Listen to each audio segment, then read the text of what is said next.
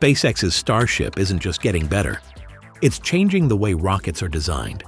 With each new version, it becomes bigger, stronger, and smarter, but the real innovation is in the details. Starship version 3 will be the most powerful rocket SpaceX has built, with a sleek, futuristic design. One of the biggest breakthroughs isn't in the engines or size, but in its weld seams. Stick around to see how SpaceX is perfecting this, and you'll realize the future of space travel is closer and more exciting than ever. The beauty of Starship 5.3 What will the welding on Starship version 3 be like? Can SpaceX make the welds nearly invisible or remove them? Let's find out in today's episode of Alpha Tech. Before we begin, please help us reach our goal of 150,000 subscribers. Hit that subscribe button so you don't miss any of our videos. Thanks for your support. We're always improving. SpaceX has been working on Starship since it was just an idea. The second-generation Starship has had two flights and five prototypes, and now version 3 is the most exciting. Version 3 stands out not just for its upgrades, but also for its design. SpaceX cares about both performance and appearance. Its smooth, mirror-like surface is now a signature feature, while earlier Starships looked rough in comparison. The change is amazing. The most difficult part? To achieve the smooth, polished surface of today's Starship and an even more refined version 3 in the future, SpaceX has had to continuously upgrade and innovate its welding techniques. Welding plays a critical role in rocket construction because it must join metal components that face extreme temperatures, pressures, and vibrations. However, perfect welding is not easy. It depends on the method used, the skill of the welder, and the type of material involved. Switch to stainless steel. At first, SpaceX planned to build Starship out of carbon fiber at its California facilities. Carbon fiber is strong, so it seemed like the right choice. But then a stainless steel prototype appeared in Texas, and the switch turned out to be smart. Carbon fiber starts breaking down at 200 degrees Celsius and would have needed a thick heat shield to survive re-entry temperatures of 1,600 degrees Celsius. Stainless steel handles heat much better and only needs a thin shield. It's also cheaper, about $3 per kilogram compared to $150 for carbon fiber, and easier to work with. Building large carbon fiber sections would have required a giant, costly autoclave, and using stainless steel isn't new. NASA's Atlas rocket in the 1960s used ultra-thin stainless steel that had to stay pressurized just to keep its shape. Problems with early welding. Choosing the right material was only the first challenge. SpaceX also struggled with welding stainless steel. Their first welding team came from a water tower company. They were skilled but had little aerospace experience.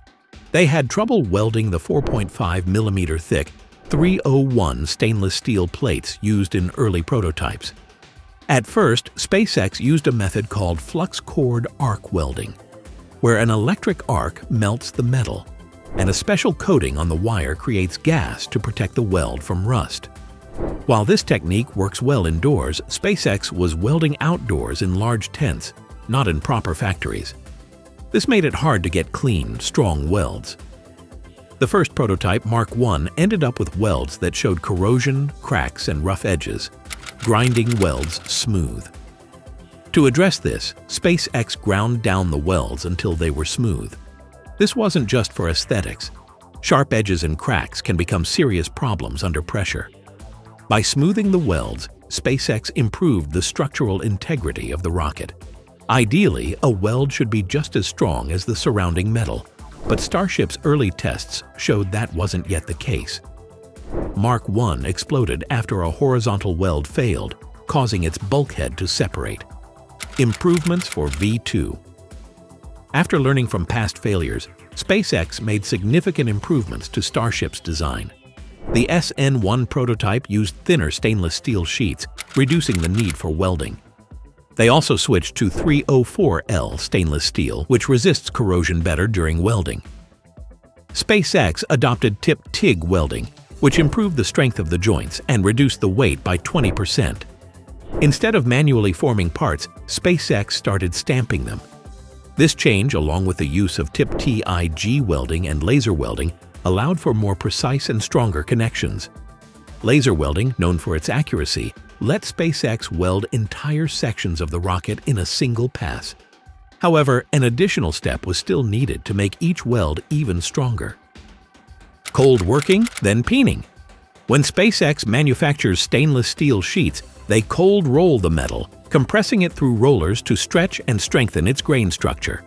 However, welding introduces heat, which softens the steel at the welds.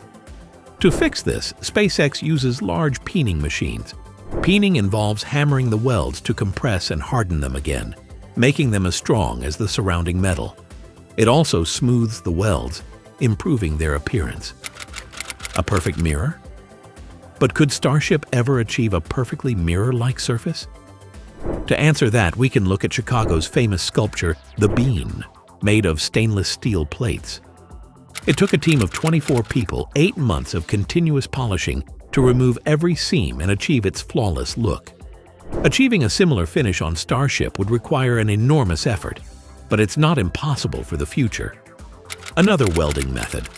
FSW SpaceX also uses another advanced welding technique called friction stir welding, or FSW.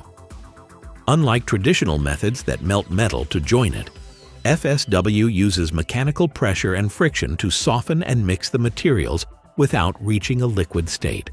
This results in stronger, more durable welds with fewer defects.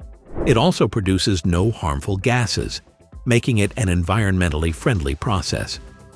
SpaceX uses FSW primarily for critical components like internal fuel tanks, where extreme strength is essential for withstanding the forces of spaceflight. Material improvements. Over time, SpaceX's improvements in both materials and welding methods have led to a major jump in weld quality. One important shift was moving from 301 stainless steel to 304L, mainly because of its superior corrosion resistance and better behavior under welding. 304L's lower carbon content prevents the formation of weak points at high temperatures, which is crucial for both durability and reliability in the harsh conditions of space travel.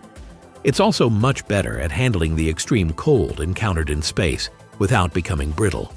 Looking ahead, SpaceX is working on Starship 52 and planning version 3, which will be 150 meters tall. These versions are designed for durability, as future missions will go deeper into space and face tougher conditions.